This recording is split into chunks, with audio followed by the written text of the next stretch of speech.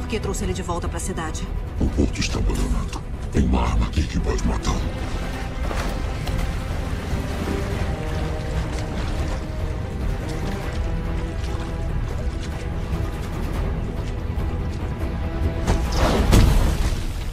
Encontrou a lança?